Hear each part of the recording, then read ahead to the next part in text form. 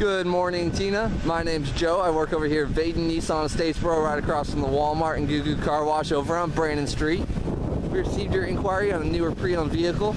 As you can see here, we have over 400 vehicles on our lot, new and pre-owned. Over a thousand available to us at our other locations of all different makes, models, and years.